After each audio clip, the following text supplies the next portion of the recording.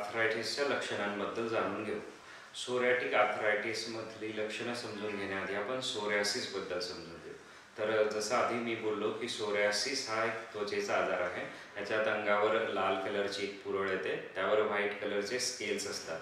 Dandruff सारखे दिसणारे scales असतात. सोरॅसिस बऱ्यापैकी कॉमन आहे. साधारणतः एक ते तीन टक्के लोकांना सोरॅसिस होत असतो. त्यापैकी काही लोकांना सोरॅटिक आर्थरायटिस होतो ज्यावेळेस त्यांचे सांधे दुखायला लागतात जखडतात किंवा सांध्यांना सूज यायला लागते. तर सांधे दुखणं आणि त्यांच्यात सूज येणं हे प्रामुख्याने सोरॅटिक आर्थरायटिसमध्ये दिसतं. पर्टिक्युलरली हाताची किंवा पावलांची छोटे सांधे यांना त्रास होत असतो. काही पेशंट्सला लार्ज जॉईंट्स म्हणजे गुडघे घोटे यांना देखील त्रास होऊ शकतो. दुसरं महत्त्वाचं लक्षण म्हणजे स्टिफनेस स्टिफनेस म्हणजे सकाळी उठल्यानंतर अंग जखडतं आराम केला की त्रास वाढतो. चाललं फिरलं की थोडं बरं वाटतं. त्यामुळे ह्या रुग्णांना रात्री किंवा सकाळी जास्त त्रास होत असतो. प्रत्येकाची सिव्हिअरिटी म्हणजे आजार किती प्रमाणात आहे ते बदलत राहतं. काही लोकांना एक किंवा दोनच सांध्यांमध्ये त्रास होतो तर काहींना खूप साऱ्या सांध्यांना त्रास होत असतो. तर काहींचा आजार सौम्य स्वरूपाचा असतो तर काहींचा खूप सिव्हिअर असतो. तशाच प्रकारे ह्या आजाराचे गुड डेज बॅड डेज असतात. काही दिवस आजार ठीक असतो काही दिवस आजार खूप वाढतो. तर ज्यावेळेस आजार शांत झालेला असतो त्यावेळेस आपण त्याला रेमिशन हा शब्द वापरतो आणि ज्यावेळेस आजार खूप वाढतो त्याला फ्लेअरअप्स असा शब्द वापरतो. जनरली काही विशेष कारण नसतानाही आजार वाढू शकतो आणि बऱ्याच वेळा आपल्याला गैरसमज असतो की आपण काहीतरी खाल्लं म्हणून हा आजार वाढला.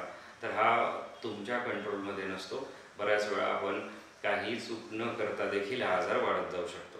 सोरॅटिक आर्थरायटिसची लक्षणं जाणून घेताना आपल्याला माहिती पाहिजे की हा आजार आपल्या शरीरातील कुठल्या कुठल्या पार्ट्सला अफेक्ट करू शकतो.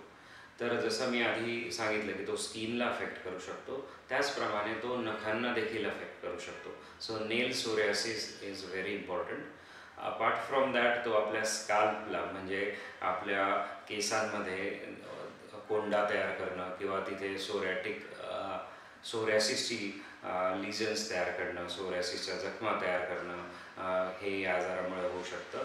त्याच प्रकारे तो पेरिफेरल जॉईंट्स म्हणजे आपले सांधे हाताची किंवा पायाचे सांधे त्यांना त्रास देऊ शकतो. एक्शियल जॉईंट्स म्हणजे आपल्या मणक्यांच्या सांध्यांना देखील तो त्रास देऊ शकतो. म्हणजे आपल्या कमरेत दुखणं किंवा मणक्यांमध्ये दुखणं स्टिफनेस असणं अशी लक्षणं असतात. दोन दुसरे प्रकाराने ते आपल्याला त्रास देऊ शकतं. इज डॅक्टिलायटिस म्हणजे आपला अख्खा बोट किंवा अंगठा पायाचा किंवा हाताचा सुजणं पूर्ण त्या बोटाला सूज येत असते. आणि एन्थेसायटिस म्हणजे जिथे आपले स्नायू किंवा मसल्स किंवा टेंडन्स बोन्सला अटॅच होतात त्या ठिकाणी दुखणं.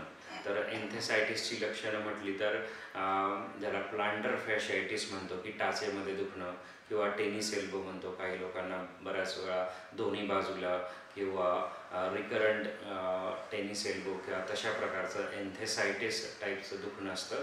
तर अशा वेगवेगळ्या पद्धतीने आपल्याला सोरॅटिक आर्थरायटिस अफेक्ट करू शकतो.